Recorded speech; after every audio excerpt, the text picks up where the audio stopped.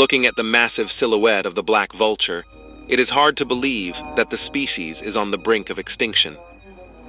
Just a century ago, the black vulture was widespread throughout Mediterranean Europe, with dense populations in the eastern and western areas. It occupied the entire Iberian Peninsula, North Africa, and the Balearic Islands. Today, a few couples scattered in some parts of Eastern Europe, in the mountains of the west, center, and south of the Iberian Peninsula, and four or six pairs in the Balearic Islands is all that remains of the powerful black vulture.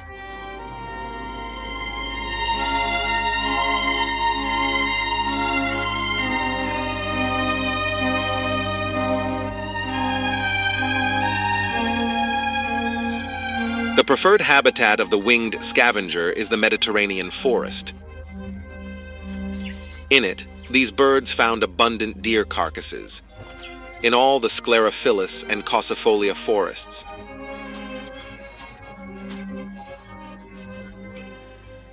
In the very rich population of rabbits, in the wild boars, in the fallow deer, and in other phytophages the necessary proteins to survive.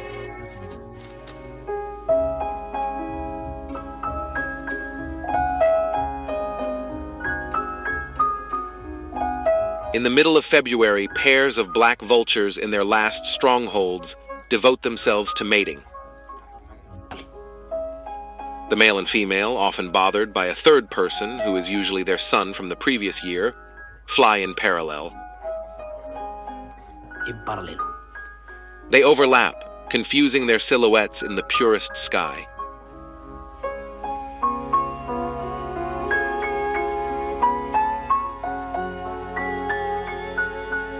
The mating flights are often followed by skirmishes through which the male tries to expel the previous year's young or another competing male from its territory.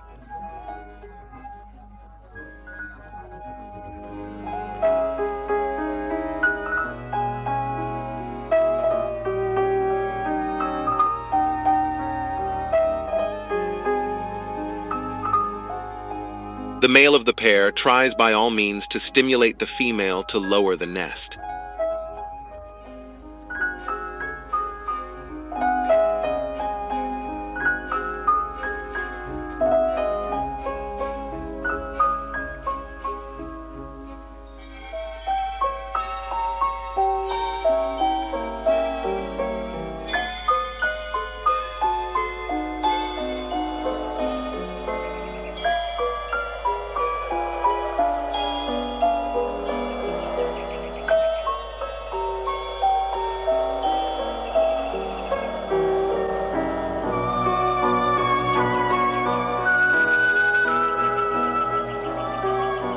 Construction is generally located in the crown of an oak, a cork oak, sometimes a pine or a juniper. Laying takes place in the first days of March and consists of a single egg. While the male watches from above and prevents a competitor from entering its fiefdom. The female, for 52 or 54 days, is almost uninterruptedly engaged in incubation.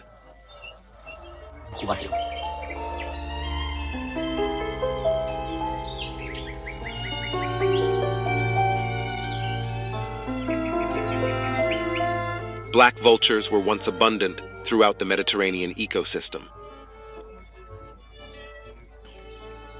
But giants under human pressure are fragile. The big ones become extinct before the small ones.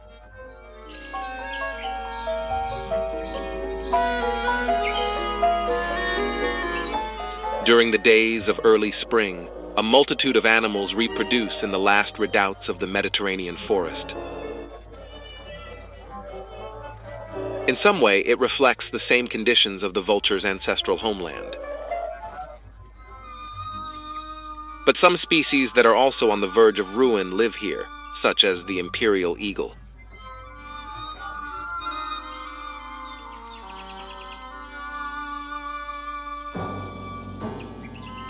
During the first years of their life, imperial eagles have beautiful light colors.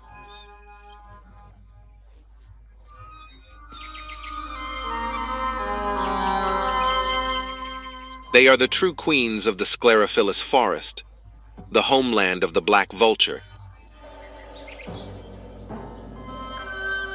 They fly silently under or over the treetops.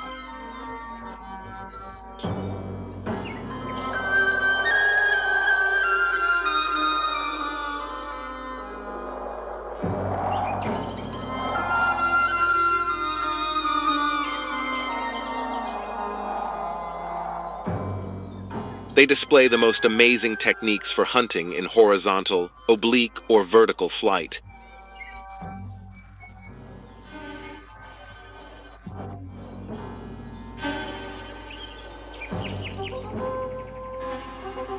Between 40 to 50 pairs of imperial eagles remain in the Iberian Peninsula, also the last in Europe.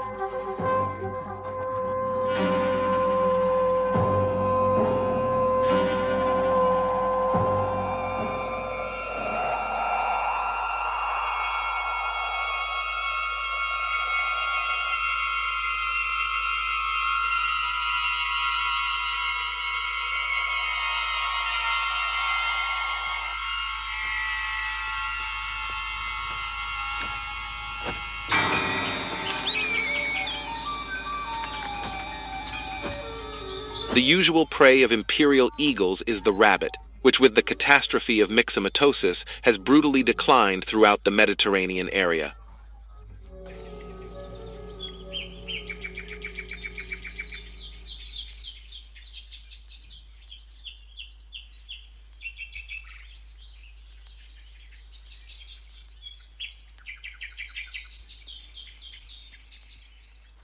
The last imperial eagles build their nests in the treetops.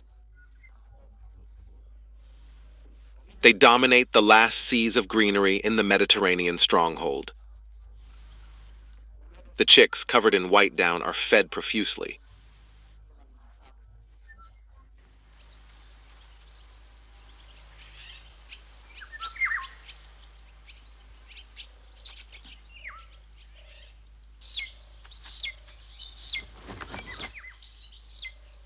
Adult imperial eagles have completely different tones than juveniles.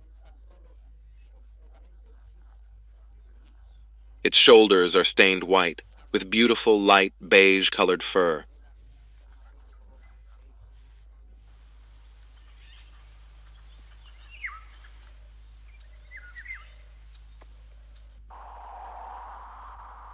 But the habitat of the black vulture is extremely rich in species of birds of prey. The short-toed eagle draws its silhouette in the sky, while the chick, about to leave the nest, stretches out on the branch of a cork oak.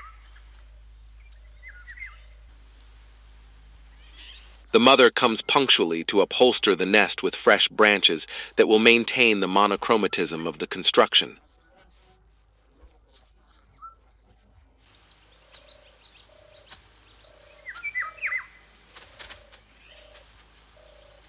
Also close to the nest of the short-toed eagle and the black vulture, there is another endangered species, the black stork, with a few pairs spread across the Iberian Peninsula. The half-grown chicks stretch out on the large platform in the thick fork of a cork oak.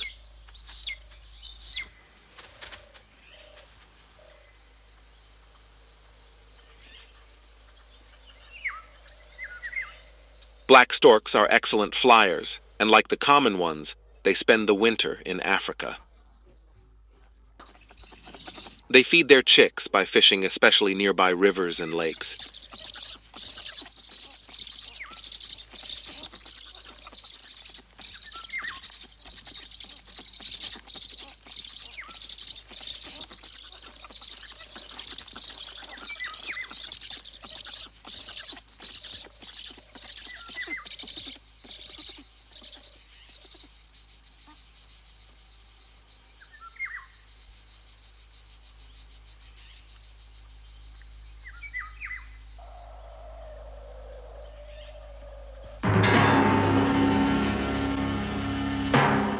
last crossroads and in the clearings of the Mediterranean forest, snakes abound. One of the largest, the striped snake, can exceptionally reach two meters in length. The large snakes of the Mediterranean forest have a specific enemy, the short-toed eagle. From the first days of April until September, these large birds of prey, which also winter in Africa, meticulously explore the terrain and hunt for snakes.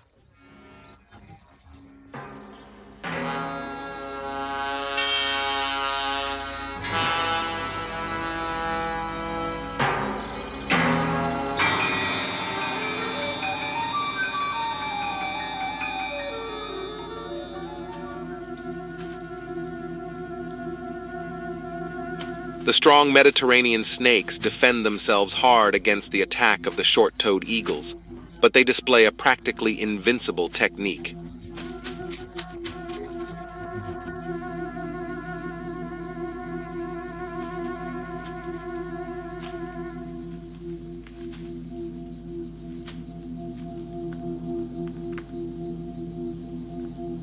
They first stun their prey with strong fin strikes, looking for the head to crush it with a sure peck.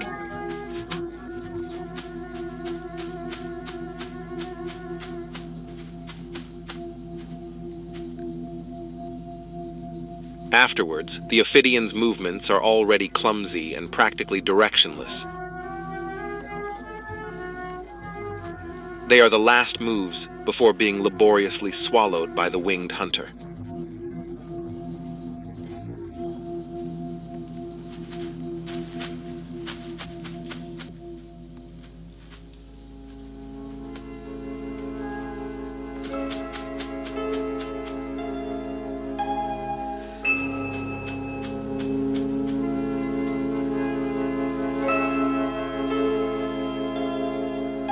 Because the images in this sequence seem to show us that it is more difficult for the short-toed eagle to swallow its long prey than to capture and kill them.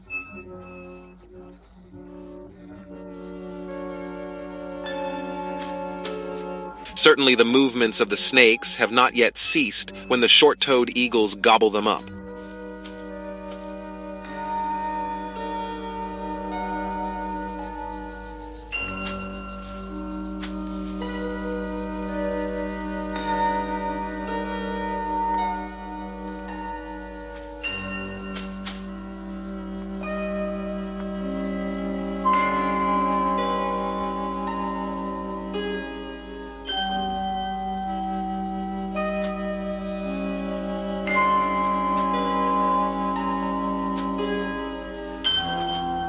To swallow the large snake and pile it up in their crops, the short-toed eagles adopt strange postures.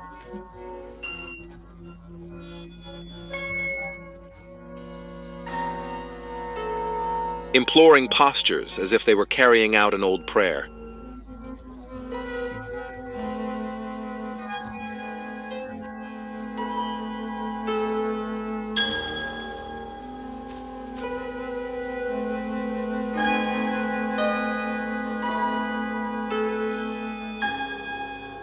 The beautiful short-toed eagles are also becoming increasingly rare in Europe. At one time, they were abundant in all sclerophyll forests, in all the countries bordering the Mediterranean, and even deepened in the nations of Middle Europe. Today there are few pairs that build their nests in pine and oak forests.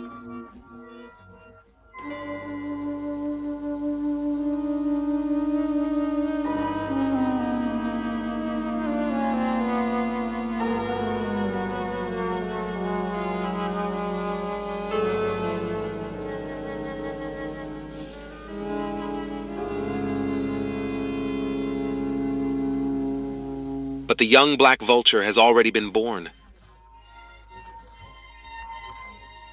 When it's born, it weighs 100 to 150 grams.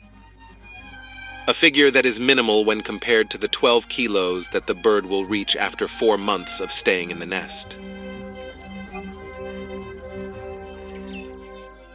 Patiently, the mother covers the chick. If it is sunny, it gives it shade. If it is cold, it lies on it to shelter it. Practically all day and all night, the black vulture remains in the nest. But in those days, in the vulture forest, life hatches. The doe, followed by the already grown young one, looks for fresh pastures.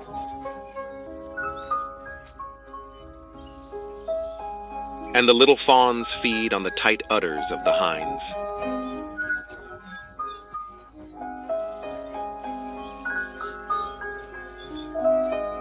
The mouflon, which also became extinct throughout the continent, being reduced to the island of Corsica and later being reincorporated into the European fauna, leads its offspring to search for tender pastures.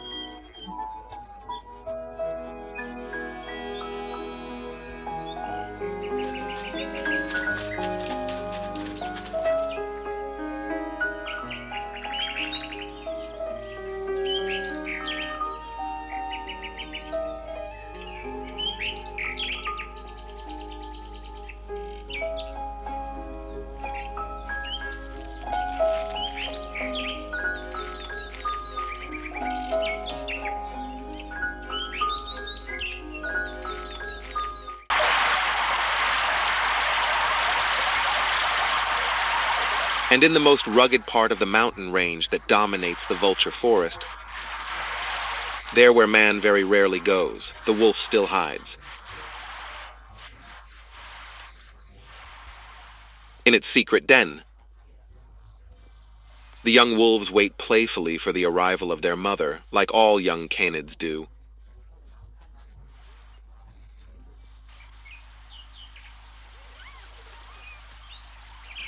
Cautiously, the wolf enters the safe and secret refuge of its little ones.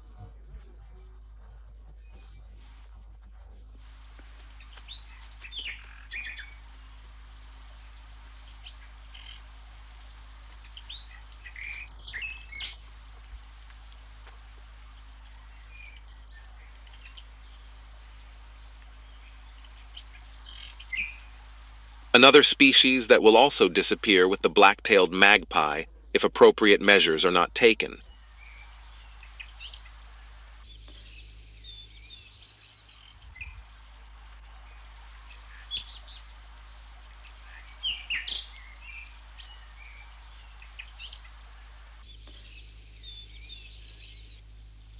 But the closest and often the most annoying neighbors of the black vultures are the long-tailed vultures these prosperous and small corvids have a curious distribution area. They live in China, Japan, and in the Iberian Peninsula.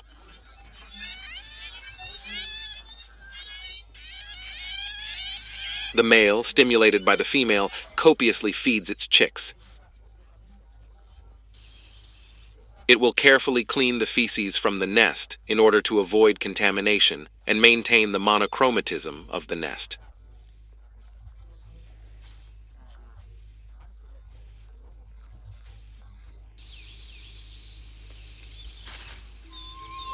The little black vultures are fed four times a day by their parents. To stimulate them, they peck the tip and side of their parents' beaks. These regurgitate semi-digested meat.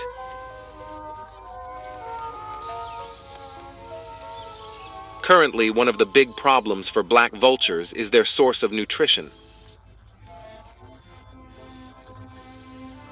They do not find enough food to feed themselves and to support their little ones.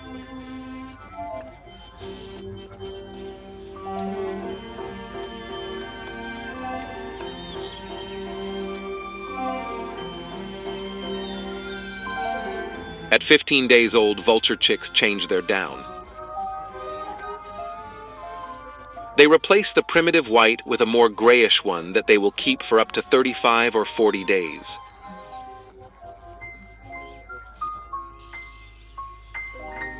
Since from childhood they have a naked neck like their parents. In ancient prehistoric times, black vultures must have depended on wolves for food. Being large prospectors of the terrain, they could monitor the hunts of wild canids. As soon as they took down prey, The vultures would be close to them to feed on the remains, as African vultures do today with lions. When the vulture occupied large areas of distribution in Europe, phytophages must have been very abundant, as were wolves.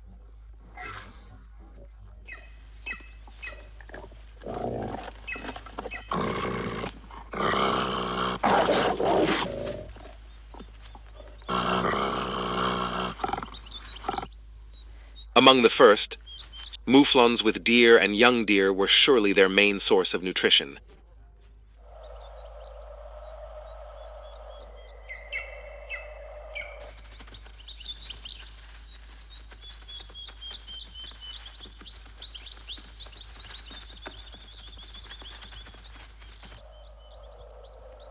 In this sequence of hunting of pack of wolves, we reconstructed in some way the primitive ecological conditions that must have prevailed in the world of the black vulture.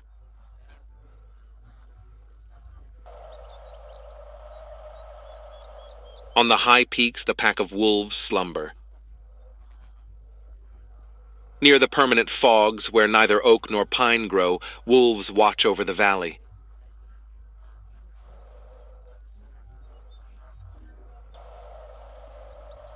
They wait for the punctual passage of the flocks of wild sheep.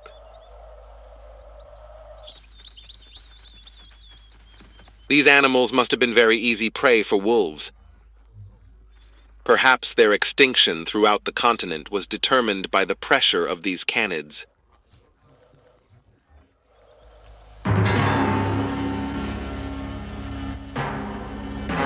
Profound strategists, tireless runners, the wolves always try to lead the flock of jesters towards gorges where the siege will prove invincible.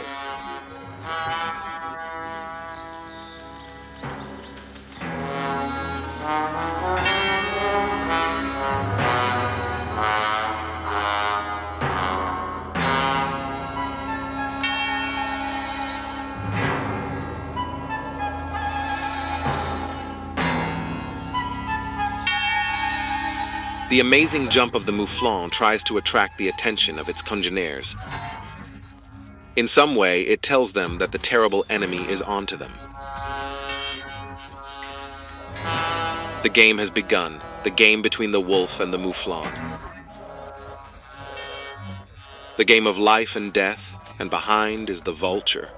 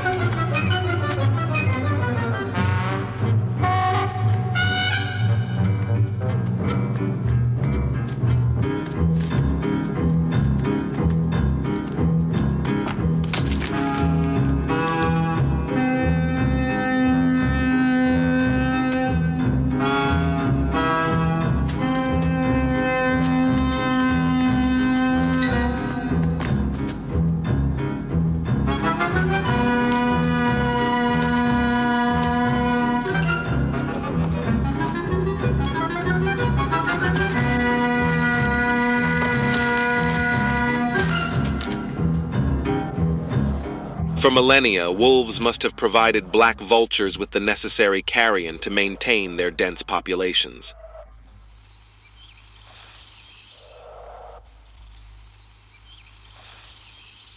At 45 or 50 days of age, the black vulture chick begins to cover itself with black feathers. After four or five years of successive molts, it will reach the final adult livery and reproductive capacity. Throughout its life, it will have some parts of its neck and face plucked and its head covered with sparse down.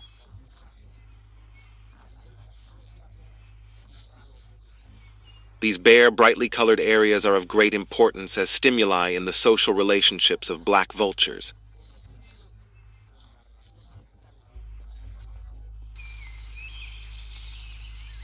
Vultures do not stay alone in the nest for long. Their parents provide plant matter from time to time to cover the nest platform.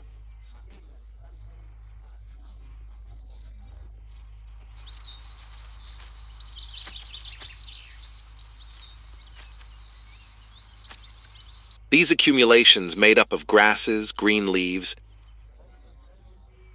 they somehow camouflage the whole thing together and must also provide coolness to the chicks that remain in the nest for so long.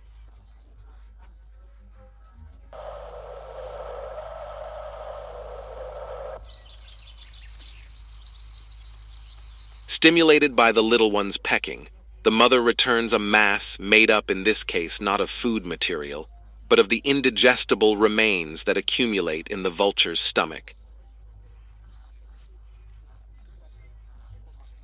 Ornithologists call these masses of indigestible matter pellets, which also form a good part of the nest cover.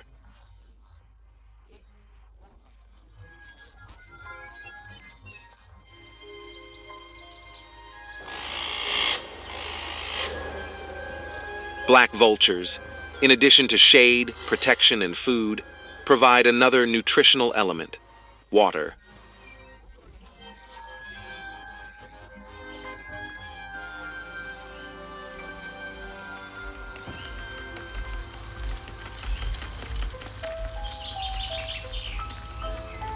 Without it, on the hot days of the Mediterranean summer, the chick could not live in the nest.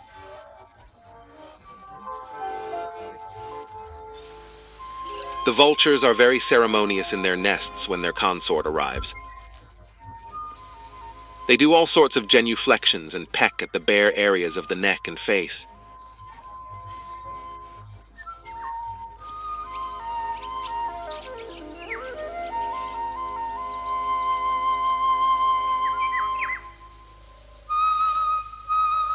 The young vulture, perfectly protected by its elders, seems very safe.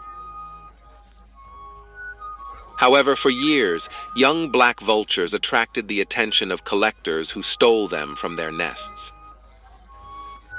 Dozens and dozens of eggs were also extracted. Today, black vultures are protected by law throughout the Iberian Peninsula. And as far as we know, also in their nesting areas in Eastern Europe. But in the vulture forest, there lives another fascinating creature that is on the very brink of extinction the Mediterranean lynx.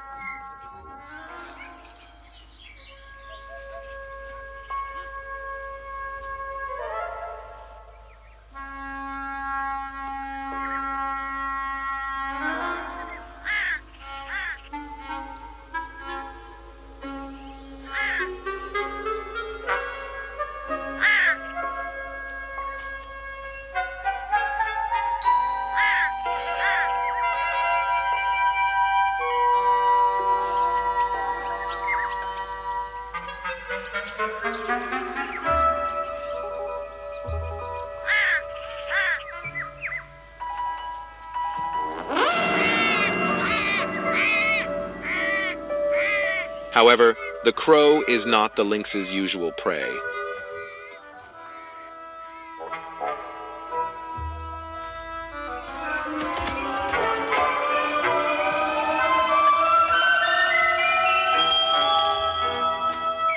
It is the rabbit, which, having disappeared as a result of myxomatosis, has dragged many predators along with its fall, particularly the beautiful lynxes. The white-tails that nest in the same tree as the black vulture have a habit of attacking it. Actually, the vulture stoically endures its pecks with infinite patience. Us nor ornithologists can explain why from time to time the great-tailed vultures enjoy attacking the patient black vulture.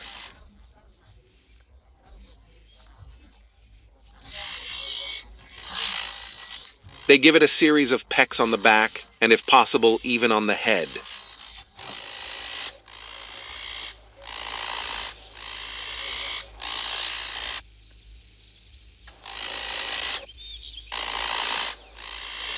The black vulture stands its bellicose neighbors as best as it can. They will abandon the area and the aggressiveness as soon as they finish breeding with the emancipation of their little ones.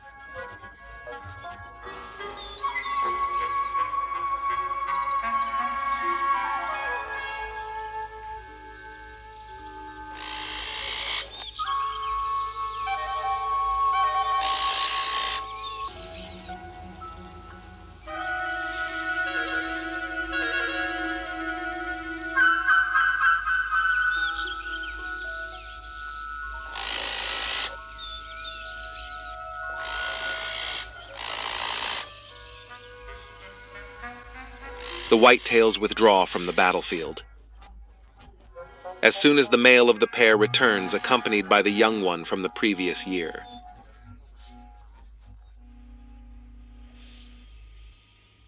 We have been able to verify that the immature remains in its parent's territory. We have also been able to verify that sometimes they attack them with their claws in the air but that it addresses them by calling them as if it expecting some help, which is not at all considerate. Like an intruder in the territory where the black vultures raise their new offspring.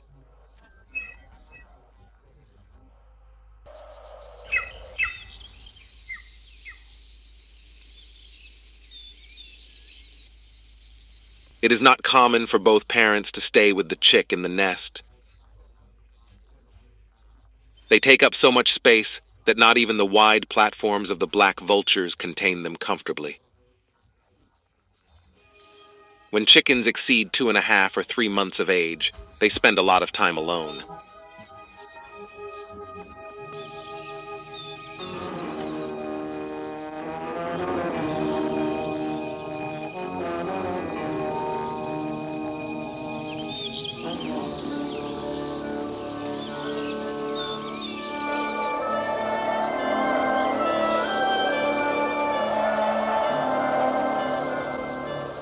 We have been able to verify throughout the sequences of the reproductive biology of the black vulture that this scavenger is perfectly adapted to the habitat it occupies.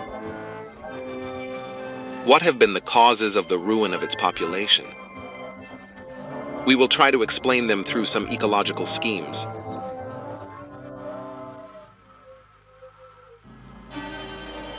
In ancient times, the black vulture must have occupied the dome of a perfectly balanced ecological pyramid.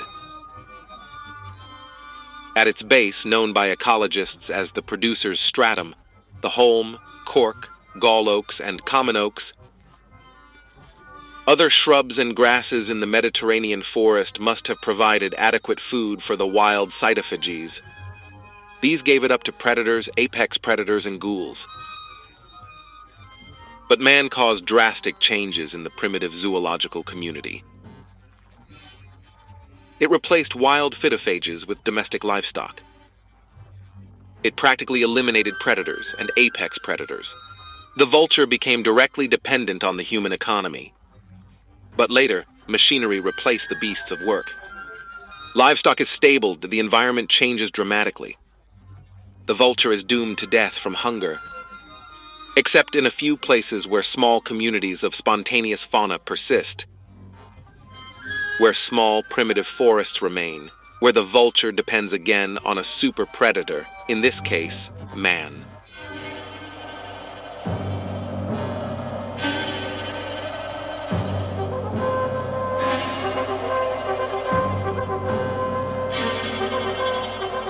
And in the same way that vultures watched over wolves in prehistoric times when they began their hunts, today, in some privileged corners of the Iberian Peninsula, black vultures fly over human hunters to feed on the remains of their prey.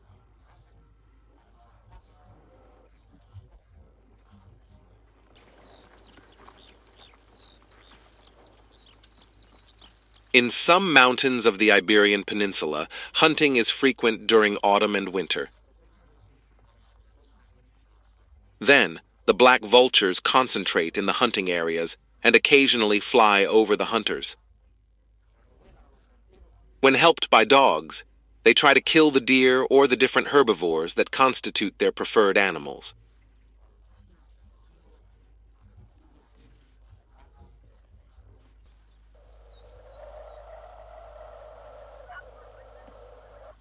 There is an astonishing parallel between the vulture, a ghoul dependent on the wild superpredator, the wolf, and today's vulture, a parasite of the superpredator of our days, which is man.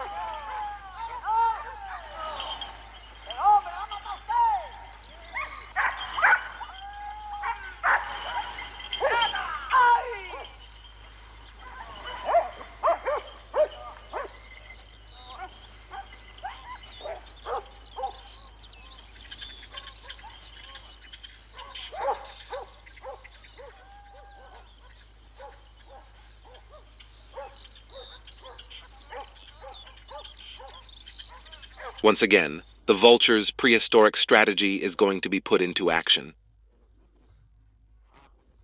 Winged scavengers will keep watch over terrestrial hunters.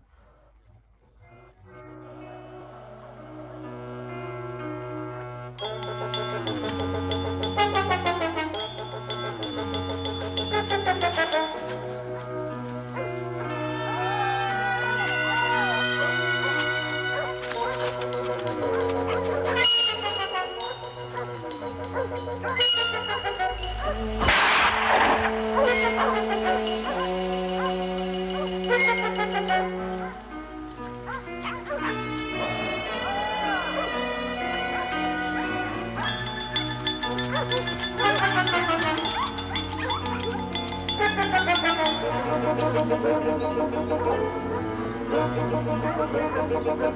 you.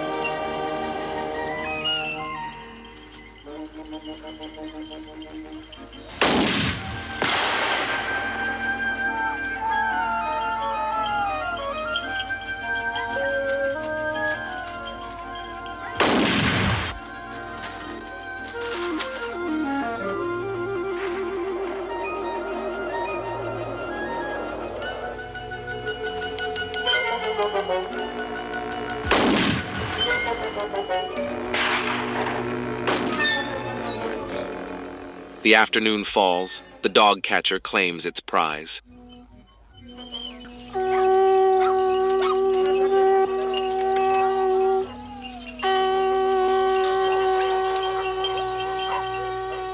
And docilely, Domestic canids now abandon hunting to respond to their owner's command.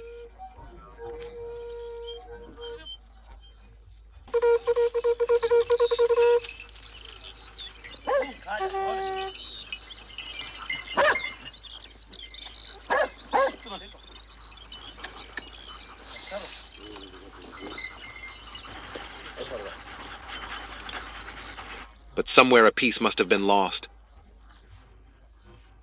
Somewhere the vultures will have also found their trophy. Perhaps the remains, the viscera of men's trophies.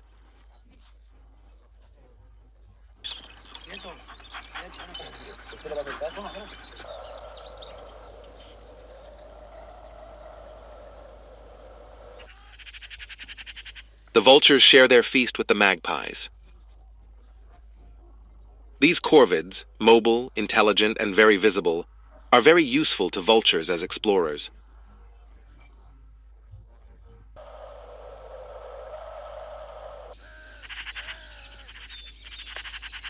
Hierarchically, the vultures divide up the carrion, first eating the most powerful individuals, then the least gifted.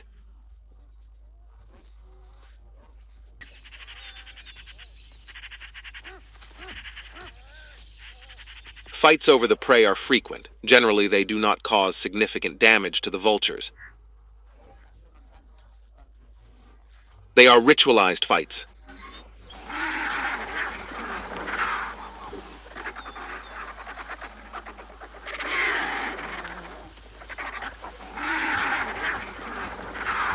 In some regions of Spain, where livestock farming is no longer abundant, hunts are, however, frequent.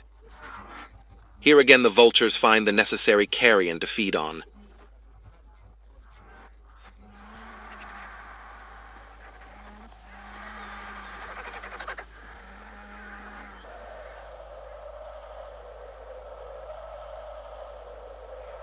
There are just over 200 breeding pairs of black vultures left in the Iberian Peninsula. Maybe half a dozen in the Balearic Islands. All necessary measures must be put in place to save a species that once roamed all Mediterranean forest areas. We must not degrade the environment. We must build feeders for vultures to avoid their destruction at all costs. With the world of the vulture, Europe would lose its last wild redoubts, the purest, most primitive of its kind.